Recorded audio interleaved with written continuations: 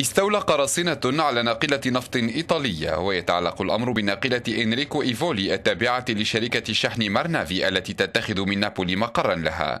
الناقلة اختطفت على بعد نحو 30 ميلا بحريا من السواحل العمانية وكانت تحمل طاقما من 18 فردا. نجل قائد السفينة قال هذا هو عمل والدي. أتمنى أن لا يتم نسيانه أطلب من السلطات أن تقوم بما يجب القيام به لإحضاره إلى المنزل. سبق وأن تعرض لعدة عمليات اختطاف لكنه نجا منها ولكن هذه المرة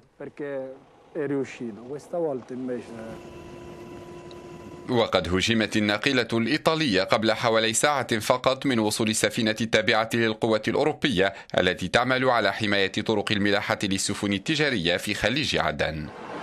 أعمال القرصنة في تزايد مستمر في منطقة الساحل الصومالي وخليج عدن حيث وصل عدد عمليات خطف السفن إلى 350 عملية نفذ أغلبهم من طرف قراصنة صوماليين